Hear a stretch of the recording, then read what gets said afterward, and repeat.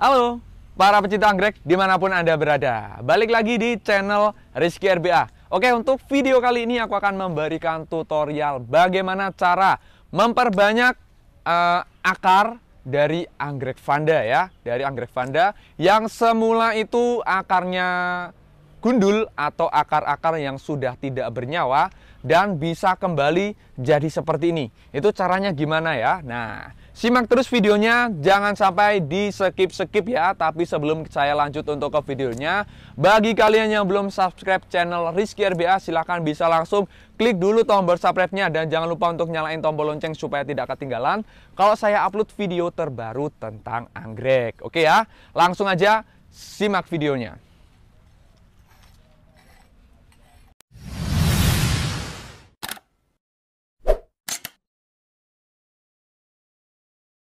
Oke, pertama-tama kita harus cari dulu Vanda yang akan saya buat tutorial kali ini ya Bu ya. Oke, langsung aja yuk ke sini. Nah, kita cari dulu. Oh, ini Bu. Nih, di sini ada Vanda yang untuk akarnya itu sudah tidak bernyawa seperti ini atau akarnya akar kopong ya Bu ya. Akar kopong yang sudah nih. Ini mau kita gini-giniin. Tuh, sama sekali sudah tidak ada airnya. Jadi ini nggak bisa menyerap air. Alangkah baiknya nanti akan saya uh, buat tutorial aja ini Bu. Dan untuk bahannya, bahan yang harus kita siapkan, oke. Bahan yang kita siapkan adalah gunting. Kenapa saya bawa gunting? Soalnya nanti buat untuk memotong si akarnya. Dan yang kedua ini saya pakai uh, sprayer atau semprotan. Nih, yang ini sudah saya isi dengan B1 Kenapa saya pilihnya B1? Soalnya B1 itu sangat-sangat manjur banget untuk mempertumbuhkan atau pertumbuhan e, manfaatnya banyak untuk pertumbuhan akar ya Bu ya, pertumbuhan akar.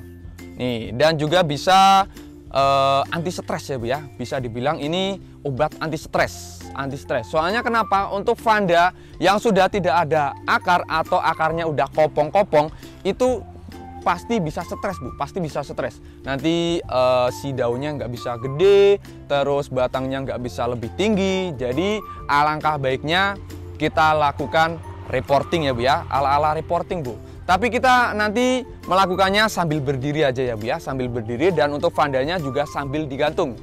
Oke, langsung aja langkah pertama, oke bu, langkah pertama kita siapkan gunting, dan juga kita pilih anggrek vanda yang akan kita potong akarnya atau pilih akar yang sudah kopong seperti ini. Ini akar-akar tidak berguna ya Bu ya. Oke dan ini untuk vandanya ini saya udah siapin dan akan saya pindah dulu ke bagian sini ya Bu ya. Soalnya biar nggak backlight aja Bu. Biar nggak backlight aja nih. Di sini gimana? Oke? Oke ya, ini di sini terang. Dan langsung aja kita langsung eksekusi Bu. Langsung eksekusi. Pokoknya kita habisin semua akar yang kopong. Caranya mudah banget, kita tinggal potong aja. Ini diwajibkan itu menggunakan gunting ya Bu ya, soalnya biar gampang Bu. Biar gampang. Nih, ini akar-akar tidak berguna ya Bu. Kita buang aja. Nah, udah kita buang. Nih Bu, kita lanjut ke bagian yang atas-atas ini Bu. Pokoknya kita harus gunting semuanya. Pokoknya akar-akar kopong semua ini Bu, akar tidak berguna. Nih ya Bu ya, kita potong. Jangan sampai takut, jangan takut. Kita ini nggak uh, merusak vandanya atau kita nggak mematikan vandanya. Kita hanya akan melakukan reporting atau menyehatkan lagi untuk akarnya ya. Nih, akarnya udah sangat kopong banget nih Bu. Nih, jadi seperti ini aja ya. Untuk cara pemotongannya seperti ini aja, diusahakan hati-hati. Soalnya ini barang tajam ya Bu ya, barang tajam Bu, hati-hati Bu gunting. Nih, oh ini Bu, di sini sudah ada keluar akar-akar baru nih. Ini akar-akar baru Bu. Ini jangan kita potong ya, jangan kita potong. Salah Bu kalau kita potong ya Bu ya. Dan untuk langkah selanjutnya, ini kan ini sudah saya potong ya, sudah saya potong. Untuk langkah selanjutnya kita harus menyiramnya atau kita harus spray menggunakan air B1. Nih, di sini saya udah siapkan.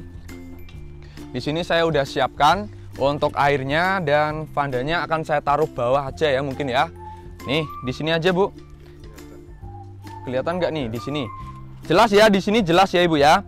Langsung aja kita semprot menggunakan air B1. Nih, pokoknya diusahakan semua bagian kena. terutama di bagian akar. Di bagian akar itu harus kena ya, harus kena. Harus kena. Nih caranya mudah banget. Nih seperti ini aja Bu, spray-spray aja sampai benar-benar dia itu basah kuyup. Sampai benar-benar dia basah kuyup. Mau di sisi kiri nih, di sisi kiri kita juga harus kena, di sisi kanan juga harus kena. Nih Bu. Pokoknya semua diusahakan harus kena seperti ini ya. Harus terkena siraman air ini air B1 ya Bu ya. Terus kalau di bagian akar itu sudah kita basahi, kita lanjut di bagian daun. Sekalian aja ya Bu ya. Soalnya ini juga bisa eh, pencegahan stres ya Bu ya, pencegahan stres. Kita siram di bagian daunnya juga. Daunnya juga. Nih, semua bagian harus kena. Apalagi di ketiak daun, ketiak daun. Ketiak daun juga harus kena ya. Nih. Oke, seperti ini aja Bu. Untuk caranya mudah banget dan tenang aja. Tenang aja. Untuk akar yang sudah saya potong, ini kan masih ada sisa-sisa ini Bu nih. Mungkin ini ada yang masih segar warna hijau. Nanti dia akan mengeluarkan akar bercabang ya, ngeluarin akar bercabang. Nanti untuk akarnya bisa bercabang-cabang. Contohnya seperti ini coba saya ambil ini Bu. Coba saya ambil ini. Nih ya. Ini akar-akarnya itu bercabang-cabang Bu. Bercabang-cabang. Tuh, banyak banget. Nanti bisa jadi seperti ini. Jadi ini untuk akar yang utama itu panjang, terus ini ada akar-akar cabang ya, bercabang-cabang. Nih, cabangnya juga keluar cabang. Pokoknya untuk akar itu mantep banget, Bu. Kalau udah jadi seperti ini mantep banget. Nih, kalau Ibu lihat uh, va, akar vanda itu seperti ini, pasti senang banget. Pasti senang banget. Tapi kalau Ibu lihat akar yang seperti ini, yang kopong seperti ini, mungkin kurang senang ya, Bu ya. Apalagi nih, ini anggreknya stres nih, Bu Kenapa saya bilang stres? Soalnya di sini ada daun yang kuning. Ini menandakan kalau dia itu stres. Ya, menandakan kalau dia itu stres. Jadi kita harus segera mungkin melakukan pemotongan akar, ya. Kita reporting ulang. Soalnya untuk Vanda itu tanpa media, Bu. Jadi reportingnya itu cuma untuk pemotongan akar aja. Akar dipotong lalu disiram dengan air B1 ya, disiram dengan air B1. Nih, ini kalau kalau punya Vanda seperti ini kan, waduh sayang banget ya Bu ya. Pasti untuk pertumbuhannya juga lama, bunganya juga lama. Nanti bunga yang dihasilkan uh, juga nggak maksimal banget. Tapi kalau kita melakukannya dengan cara seperti tadi, nih Bu, kita melakukan pemotongan, nanti akarnya bakalan jadi seperti ini, panjang lagi, banyak lagi, dan juga akar-akar seger. Akar-akar seger semua ya Bu ya.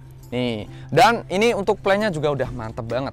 Nanti untuk pertumbuhannya bakalan lebih cepat ya, bakalan lebih cepat dan untuk bunganya juga pasti bisa maksimal. Bunganya bisa maksimal. Jadi untuk caranya sangat mudah banget. Pokoknya ini e, bisa dilakukan untuk pemula juga ya Bu ya. Pemula itu bisa melakukannya. Soalnya gampang banget. Untuk videonya pastikan jangan di-skip biar paham apa yang saya berikan kali ini ya Ibu ya. Nih, kalau punya Vanda akarnya kayak gini kan, wah ini saya lihat aja loh Bu. Ini saya nggak punya ya Bu ya, saya nggak punya. Saya lihat aja nih Bu, saya lihat aja seneng banget. Seneng banget ya, seneng banget. Nah, ini Bu, yang saya maksud dari uh, bunga yang nggak maksimal itu seperti ini. Biasanya kalau bunga maksimal itu bunganya banyak kalau Vanda Bu. Bunganya banyak, lebih dari 12, tapi ini cuma ada 5 ya. Ini cuma ada 5. Nih, ini kita sudah melakukan reporting juga. Dulunya kita sudah melakukan reporting yang nggak lama-lama sih Bu. Baru sekitar 1 sampai 2 mingguan lah ya. Nih, akar-akar baru juga udah mulai muncul. Mantap. Nih Bu, mantap banget ya Bu ya. Jadi jangan di-skip videonya biar tahu apa yang saya berikan. Oke?